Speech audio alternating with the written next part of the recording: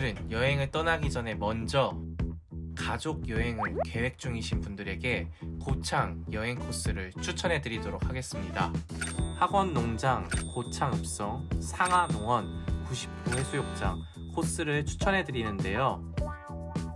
첫 번째 코스로 학원 농장에 방문하셔서 5월에 푸르름을 느낄 수 있는 청보리를 구경하시면 좋을 것 같습니다. 두 번째는 고창읍성으로 가시면 될 것 같은데요. 고창읍성 성곽 주변에 빨갛게 물든 철쭉을 관람하시면 좋을 것 같습니다. 세 번째는 상화농원인데요. 이곳은 아이들과 함께라면 동물이 있어서 즐기기 좋은 곳이기 때문에 코스에 추가를 했고요.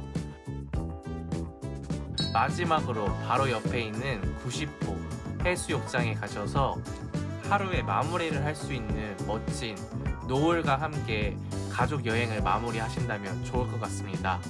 제가 추천해드리는 고창 여행 코스를 가족 여행으로 함께 한다면 아마도 남녀노소 모두 다 만족할 만한 코스가 아닐까 생각합니다. 그럼 지금부터 고창의 여행지 꿀팁과 또 숨겨진 명소를 찾아 떠나보겠습니다. 고! 첫 번째로 가볼 곳은 고창의 학원 농장입니다. 이맘때쯤 되면 많은 분들이 학원 농장의 청보리를 즐기기 위해서 방문하시는데요. 저는 학원 농장에 아침 일찍 방문을 했는데 이 청보리에 물이 맺혀 있고 또 그 물을 비추는 햇빛이 떨어지고 있어서 청보리밭 표면에 은빛이 감돌고 있어서 더욱더 신비한 느낌이 들었습니다. 그래서 청보리밭을 방문할 계획이시라면 일교차가 심한 요즘에는 아침 일찍 방문하신다면 더 좋을 듯 합니다.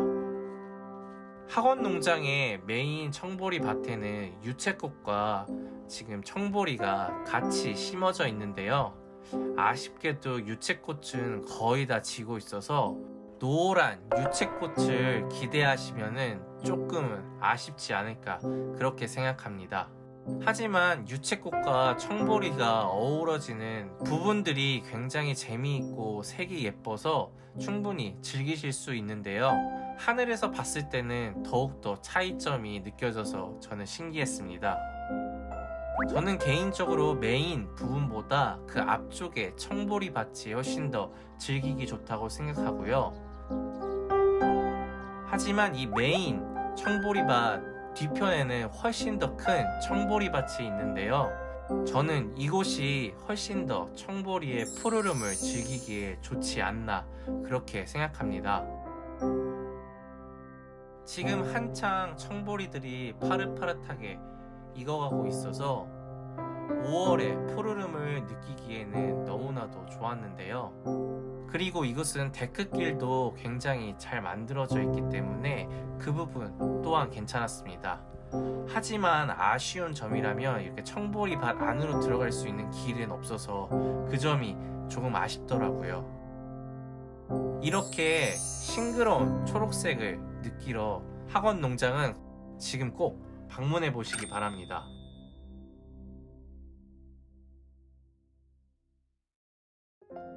두 번째로는 지금 굉장히 매력적인 고창 읍성으로 한번 떠나보겠습니다. 정문에서부터 아주 빨간 길이 보이는 고창 읍성은 지금 성곽 주변에 철쭉들이 가득 피어 있어서 눈부시다 못해 화려한 모습을 보여주고 있는데요. 그래서 많은 사람들이 지금 고창 읍성을 찾아가고 있습니다. 성곽 안으로 들어가면 바로 왼쪽에 성곽을 걸을 수 있는 길이 있는데요. 이쪽은 경사가 좀 있어 갖고 저는 안쪽으로 돌아서 가는 거를 추천합니다. 안쪽으로 걸어서 올라가다 보면 바로 빨갛게 문든 성곽을 볼 수 있는 곳이 나오는데요.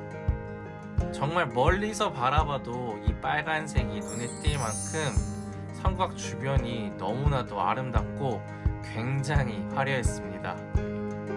또또 고풍스러운 성곽과 함께 어우러지면서 색다른 모습을 연출하고 있었습니다. 이 성곽을 따라서 쭉 걸어 다니시면 철쭉을 가득 즐기실 수가 있는데요. 저는 점심 먹고 난 뒤에 이 고창 읍석에 오셔서 소화할 겸 이 철쭉을 아름답게 즐기시면 좋지 않을까 그렇게 생각합니다. 그리고 고창 읍성 안에 대나무 숲이 가득한 곳도 있기 때문에 이것도 꼭 빼놓지 말고 방문해 보시기 바랍니다. 빨갛게 물든 아름다운 고창 읍성도 또한 고창에 빼놓을 수 없는 여행지 중에 하나입니다.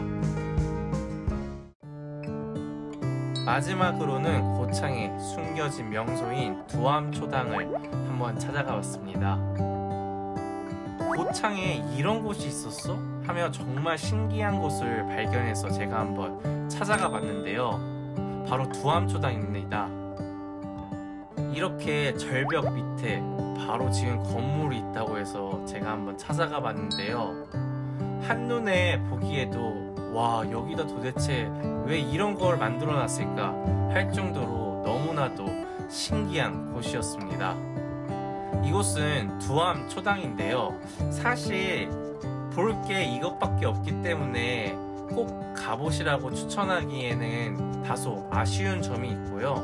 어쨌든 직접 방문해 보니까 정말 놀라운 곳이었습니다.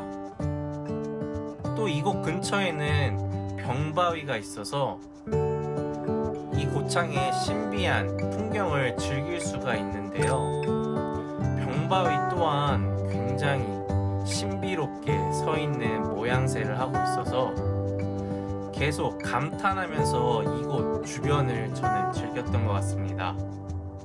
궁금하신 분들은 한번 방문해도 저는 좋을 것 같습니다. 5월 가정의 달이 곧 찾아오는데요. 아마도 가족 여행 때문에 아직도 고민이신 분들 있을 거라고 생각합니다. 저는 개인적으로 이 고창이 남녀노소가 즐길 거리가 많은 곳이지 않나 생각하는데요. 이번 5월은 한번 고창으로 떠나보시기 바랍니다. 그럼 다음에 만나요. 안녕.